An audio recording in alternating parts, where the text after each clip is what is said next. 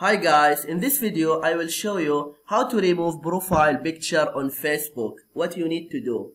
First just go to Facebook and log in your account and then go to your profile.